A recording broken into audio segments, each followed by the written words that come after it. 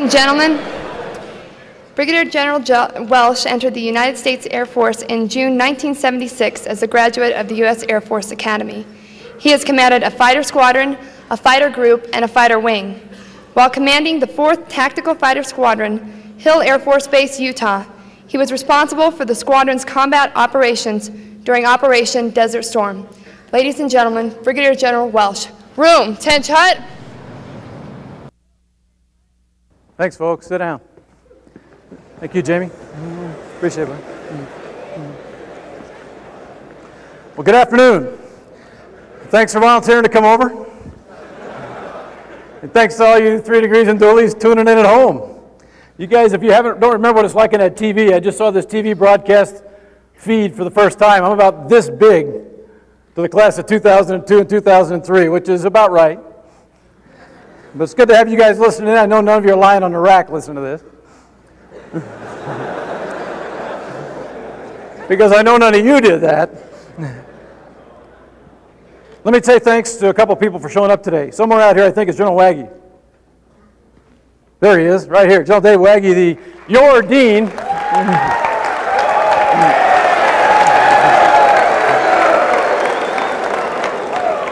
Now, there's a rule of engagement General Wagie's got to learn now in my wing. When they cheer for you, you got to flex. So let's try that one more time. There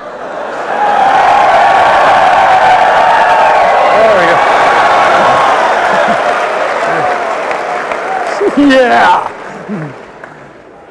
General Wagie and the faculty just came out. I don't know if you saw the recent uh, magazine article saying that this was the USAFA was the best academic experience in America, according to a poll of students. That's pretty cool stuff. Right next to General Wagie is a uh, real warfighter. He's going to understand what I'm talking about today. The Vice Wing Commander of the 34th Training Wing, Colonel Trapper Carpenter.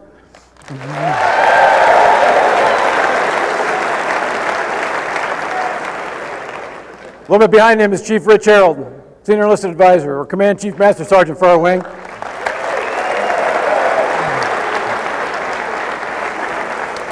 Right next to him is Lieutenant Colonel Corky, Colonel Select Corky von Kessel, the superintendent's exec, who somehow Colonel Carpenter has let sneak in behind him for an unobserved shot at six. But Corky, thanks for coming over, bud.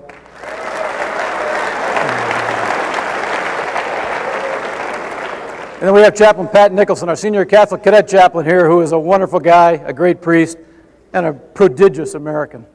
Father Pat, it's great to have you here, bud. Colonel George's not here, is he? Well, where's Brian at?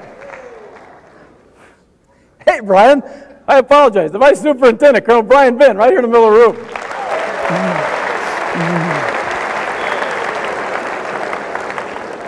Geez, and the boss is gone. He's in charge. I'm sorry, Brian. I wish Colonel Jordan was here because I got the beak at Colonel Jordan. And I was going to kind of ask him about something. Did I had to get rid of a perfectly good hunting dog this week? Those of you who know me probably know I really love my dog. He may, be the, may have been the best bird dog in America. Earlier this summer, I asked Colonel Jordan to come hunting with me and the dog. The dog's named Sarge, by the way. Asked him to come hunting with us for a week. And Dan really had a trouble getting this straight. The entire week, I don't know if he was intimidated by rank or what, but he called this dumb dog General. Which I thought was funny until about a week later when I realized that my dog had been ruined. Because after a week of being called general, all that stupid mutt will do is sit on his ass and bark.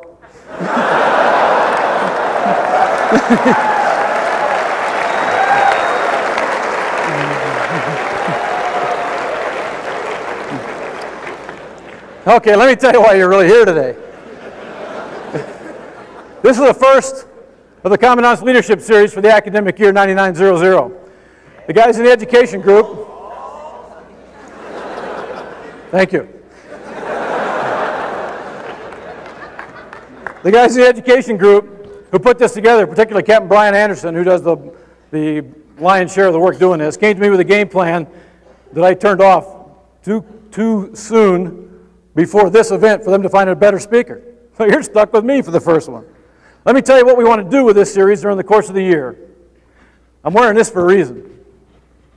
The Commandant's Leadership Series during this academic year is going to talk about why the United States Air Force exists. Each and every one of you is going to have a role when you leave here that causes you to directly or indirectly support the generation of combat sorties. I don't care if you're a security forces officer, an intel officer, a civil engineer, or a fighter pilot, your job is to generate combat sorties and to win the nation's wars. Period. It's an easy mission statement. We kick butt for a living. And you're part of it. So buy in now if you want to come out and work in my Air Force. And that's what we're going to talk about. We're going to talk about the view from the cockpit. We're going to talk about the view from the ground. We're going to talk about combat operations.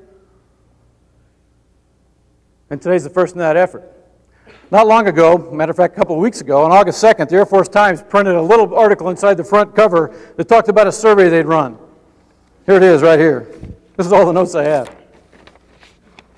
The Air Force Times and its sister publications ran an online poll, and they asked the readers Are the history and traditions of your service important to you? Army, 83%, yes. Navy, 73%, yes. Marines, 91%, absolutely yes. Air Force, 25% yes. Now, you think about that for just a second because that statistic scares the hell out of me. Because you are not new, you are not starting this business. And what this Air Force is today and will be tomorrow when you're leading it is based on where we came from and who the leaders were that got it going. We're not doing anything new today from what we did in the Army Air Corps days. We're just doing it better with newer technology and smarter, better trained people. Where we came from is critical to our, to our future. And I'm going to talk a little bit about that today. Because your heritage isn't Billy Mitchell solely. If you think Billy Mitchell and the guys who went and bombed the Ostfriesland were doing anything more than betting quarters on who could put the first bomb down the smokestack, you're probably wrong. Those guys flying those bombers weren't thinking, boy, this is great Air Force heritage in the making. They weren't doing that. And you're going to be doing stuff in two or three years that is Air Force heritage in the making, but you're not going to be thinking of it that way either. So I'm going to tell you about some people today who are your heritage. I'd like you to pay attention while I do.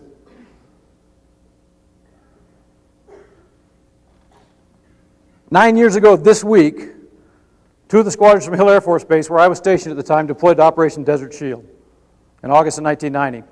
Colonel Tom Rackley, who some of you probably know, who's the Director of Plans and Programs here, went with them. I stayed home. I was the operations officer of the 34th Fighter Squadron at Hill, and I didn't get to deploy until about a month and a half later when I was sent over to take command of the 4th Fighter Squadron in the desert. By that time, Colonel Rackley had taken command of the 421st Squadron, and we shared a hooch during the war. By the way, he's a great American and a fighter pilot's fighter pilot if you ever want to talk to somebody who knows about combat and about leadership. He's a great guy to turn to. But what's significant about that is over the years I've been asked to talk about Desert Storm, and not long ago I was asked to give a presentation on my personal lessons learned from my experience in combat. That was pretty nifty, what? We got all kinds of sound effects we can use here. When I went to put this list together, I sat down I spent about an hour and a half making this list. And I kept thinking and thinking and thinking, what can I put on there? Great lessons learned I want to pass on to future generations. And when I finished, I had about 15 items, just one little items about that long. And I realized that none of them were lessons learned. Not one of them. Every one of them was a person, or an event, or just a feeling I had that I've never forgotten and never will. That's what I'm going to talk to you about today. It's important before I start for you to remember that combat, any kind of combat, is different for everybody. You know, an aerial combat happens at about 1,000 miles an hour of closure. It's hot fire, cold steel, it's instant death, big destruction. It happens like this and then it's over. Ground combat's not that way, as you can imagine.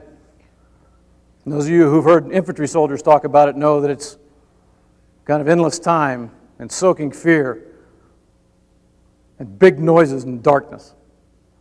It's a different game. And you need different training to do it and different types of people to handle it well and to provide leadership in that environment. So it's different. But it doesn't matter how many people you have standing beside you in the trench or how many people you have flying beside you in the formation. Combat, especially your first combat, is an intensely personal experience. And so during the course of this Commandant's Leadership Series over this year, you're going to hear different people give different opinions and different perspectives. Today, I'll tell you the things I remember. First slide.